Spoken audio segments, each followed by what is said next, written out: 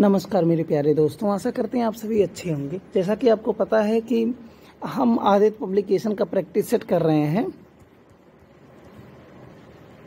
ठीक है? जिसके अंतर्गत पहला चैप्टर जो वर्डमाला है, उसको हम लोग स्टार्ट किए थे। हम लोग 80 क्वेश्चन तक कंप्लीट कर चुके थे। आज हम इक्यासी से 112 तक कंप्लीट करेंगे। इसके बाद इसी चैप्टर में हमारा विराम चिन्ह है। विराम चिन्ह का थ्योरी पढ़ने के बाद में हम लोग प्रैक्टिस सेट कंप्लीट करेंगे। तो चलिए हम लोग क्वेश्चन नंबर इक्यासी देखते हैं।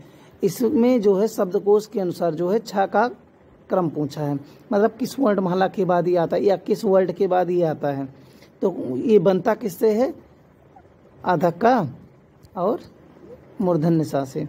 तो ये का के बाद आएगा। ठीक है? क्योंकि आधा का पहले है या का पहले है तो इस, ये जो है आएगा तो का के बाद ही आएगा। ठीक है? तो हमारा क्वेश्चन नंबर एट्टी वन का ए ऑप्शन सही हो गया। आगे देखते हैं। ए का उच्चारण स्थान पूछा है तो ए मिलके किससे बनता है? आ प्लस ई। ठीक है? तो आ का होता है कंठ और ई का होता है तालब्य या तालु। तो दोनों मिलके हो गया कंठ तालब में इसका ऑप्शन क्या सही हो गया? डी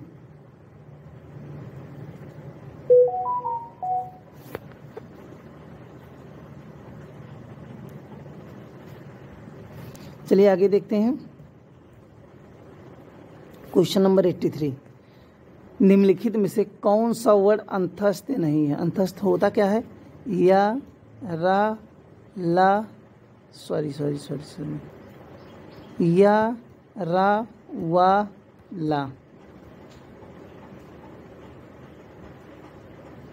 ठीक है? अब बाकी देखते हैं। अब कौन सा नहीं है? हा जो है, ये उस व्यंजन में आता है तो यही नहीं होगा। ठीक है? आगे देखते हैं। Question number eighty four. पूछा अघोष वर्ड कौन सा है? अब आघोष तो आप पढ़े ही हैं। कौन कौन सा पहला, दूसरा और सा के तीनों रूप, बड़ा सा, मूर्धन्य सा, छोटा सा। तो अब देखते हैं। ये तो ये तो जो है स्वर हो गया तो ये तो होगा नहीं, ठीक है? चा छा जा ये तीसरा हो गया तो ये भी नहीं होगा। यही सा के तीनों रूप में आ गया एक सा तो ये हो जाएगा, ठीक है? चलिए आगे क्वेश्चन नंबर एट्टी फाइव देखते हैं। क्वेश्चन नंबर एट्टी फाइव में दिया है तालब्य ध्वनिया। तो तालब्य कौन सा होती हैं? चा, छ, से इया तक। और जो है, ई, और बड़ी, साथ में बड़ा सा, और या। ये सभी जो है तालब्य होते हैं। अब इसमें देखो क्या दिया है। इसमें तो यही दे दिया है, चा वर्ग ही दे दिया है तो कोई आगे पढ़ने की ज़रूरत ही नहीं हमें देखते हैं क्वेश्चन नंबर एट्टी सिक्स। कौन सी दुनिया अल्पप्राण है? अल्पप्राण, महाप्राण हम पढ़े हैं, अल्पप्राण तो पढ़े ही नहीं हैं। महाप्राण। ठीक है, इसके अलावा जो भी होगा, वो सभी अल्पप्राण होगा। तो महाप्राण में हमने पढ़ा था दो, चार, और उस व्यंजन मतलब सा सा सा, हा। श श, स और हा। इसके अलावा जो भी आएगा, वो जो है हमारा अल्पप्राण हो जाएगा। तो चलिए देखते हैं कौन कौन सा। का, खा, यही दूसरा मिल गया। तो ये जो है ये हो गया हमारा महाप्राण तो ये भी नहीं है। ता, था, दा, धा, ये भी चौथा हो गया तो ये भी नहीं होगा। ता, देखना ये पहला है तो यही हमारा हो जाएगा। कौन सा हो जाएगा हमारा? Option number D. अच्छा सी देखते ता, था, ये दूसरा है तो ये भी नहीं होगा। तो ऑप्शन नंबर डी हमारा जो है, सही ऑप्शन है। नंबर एट्टी सेवन देखते हैं, इसमें कहा, स्पर्श, ठीक है? तो ये हमारा हो जाएगा का से माँ तक तो सबसे पहला ऑप्शन डी, इसको हटा देते हैं। उसके बाद देखते हैं, घोष पूछा है।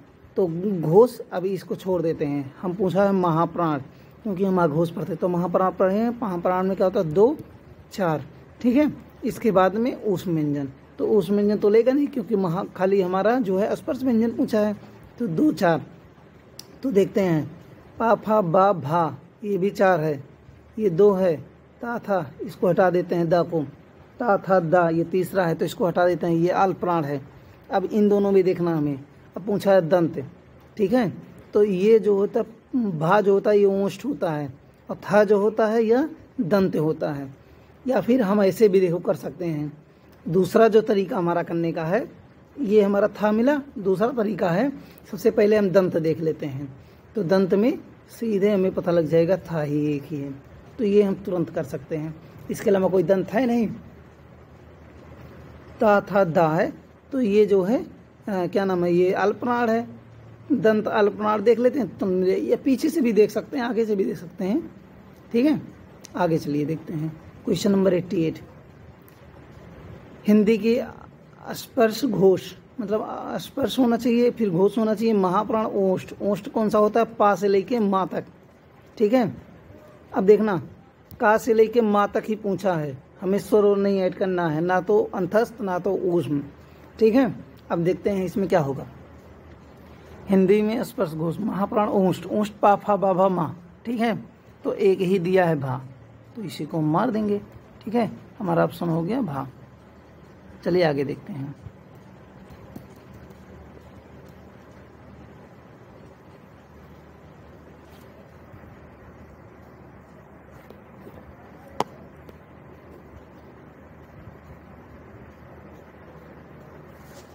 चलिए क्वेश्चन नंबर एट्टी नाइन देखते हैं।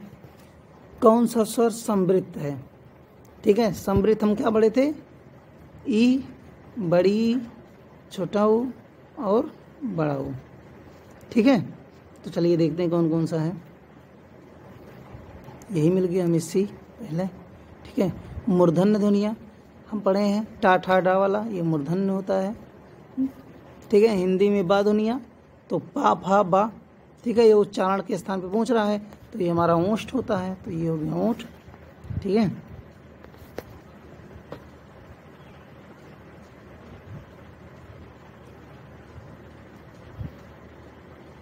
देखते हैं, दंत ध्वनिया पूछा है तो ता था वाला पूरा होता है तो ता ही पहले दे दिया तो यही देख लेते हैं, खत्म करते हैं इसको, आगे देखते हैं, कौन सा स्वर सम, क्या नाम है, समृद्ध है तो वही फिर आ गया, छुट्टी, वही क्वेश्चन रिपीट कर दिया इसने।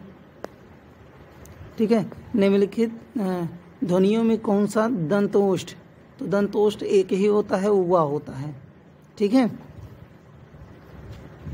आगे देखते हैं नाइन्टी फाइव क्वेश्चन नंबर निम्नलिखित वर्डों में कौन सा मूर्धन्य ध्वनियों का है?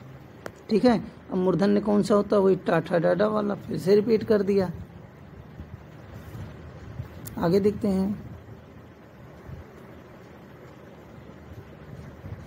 क्वेश्चन नंबर नाइन्टी सिक्स, शाह ध्वनि का उच्चारण स्थान। ठीक है? तो सा किससे होता? हमने क्या बताया था? तालु से शुरू होता है। तालु में बड़ा सा होता है। उसके बाद मूर्धन्य में, मूर्धन्य सा होता है। फिर जो है तालु मूर्धन्य के बाद दांत आता है। तो दंत में क्या होता है? छोटा सा होता है। तो ये हो गया तालु। ठीक है? तो हो गया तालव्य। कौन सा व्यंजन पार्शिव है पार्शिव किसे बताया था मैंने? ला को बताया था कि पार्शिव होता है। पार्शिव आगे देखते हैं। कौन सा वर्ड संयुक्त व्यंजन नहीं है? ये तो आसानी से पता लग जाएगा। संयुक्त व्यंजन नहीं है, यही नहीं है, बाकी सब हैं, ठीक है? बी वाला नहीं है, बाकी सब हैं। यारा लावासा। क्या है? अंतस्थ हैं।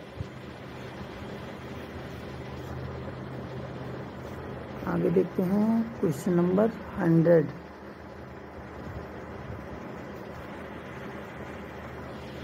देखते हैं। अर्धस्वर पूछा है, ठीक है? तो अर्धस्वर मैंने बताया था या और वा को। तो इसमें खाली या ही है तो या मार दिए। इनमें से कौन सा संयुक्त व्यंजन नहीं है? फिर वही पूछ लिया। इतना आसान कौन पूछता है? पहले ज़माने में आते थे, अब थोड़ी ना आते हैं। कौन सा व्यंजन पार्श्विक है? फिर वही चीज़ पूछ लिया, अल्लाह। ठीक है, देखो, लिखने का तरीका अलग अलग है, पार्श्व का। एक जगह अलग लिखा है, एक जगह अलग लिखा है।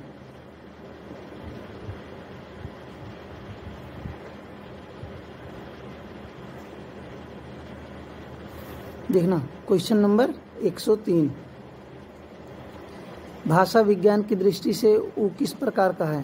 ठीक है मतलब ये जिहवा के आधार पर पूछ रहा है। ठीक है तो आओ, उल्लू। पीछे पीछे तो ये हो गया पश्च स्वर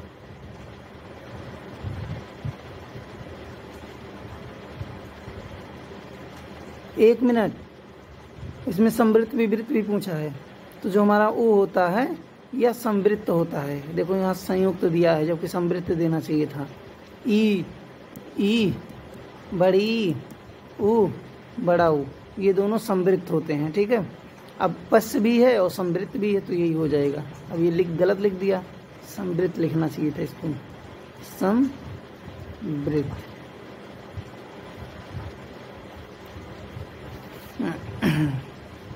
यहाँ विवृत दिया है तो विवृत में खाली हमारा आ होता है। या फिर जो अंग्रेज़ी वाला आ यूज़ होता है, ये होता है। वह का उच्चारण था, दंतोष्ट।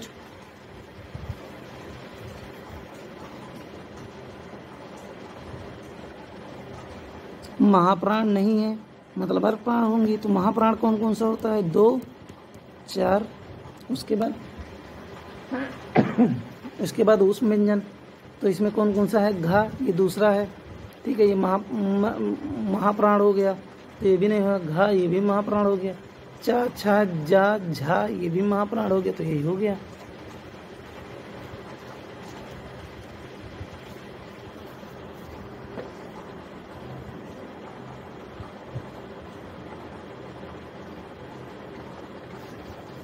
क्वेश्चन नंबर एक सौ छह किस वर्ग का उच्चारण स्थान कंठ तालु है?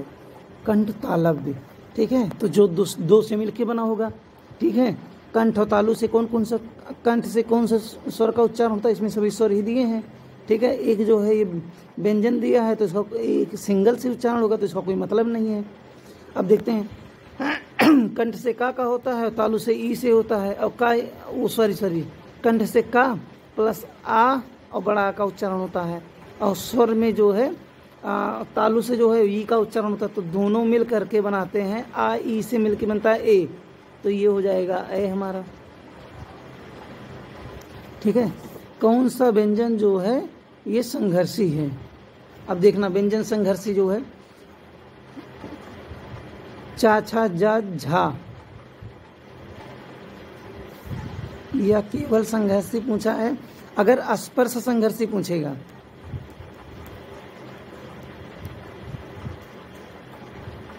तो हम लगाएँगे चा वर्ग को, ठीक है? और केवल संघर्षी पूछेगा तो ये जो है उस व्यंजन को लगाएँगे। तो ये हमारा हो जाएगा हाँ। कौन सा व्यंजन स्पर्श संघर्षी देखो आ गया, ठीक है? तो ये हो जाएगा चाछा जा वाला। चाछा जा झा आगे देखते हैं। क्वेश्चन नंबर 109 विसर्ग से बना कौन विसर्ग से बना शब्द कौन सा है? ठीक है? तो देखना इसमें कौन सा विसर्ग है, यही दिख रहा है। निष्प्रिय है। ठीक है? ये हो गया। अब चलिए आगे देखते हैं। तीन क्वेश्चन हमारा और बचा है। तो उसको देखते हैं। बाकी विराम चिन्ह स्टार्ट हो रहा है तो विराम चिन्ह हम बाद में देखेंगे।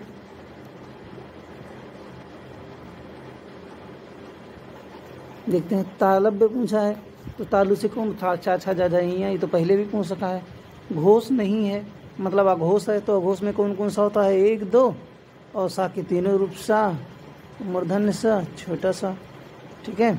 अब देखते हैं कौन कौन सा होता है। ये तो होगा नहीं यार अलावा, ये भी नहीं होगा। टा, ठा, डा, ये भी नहीं होगा तो यही हो गया। ता पहला जो है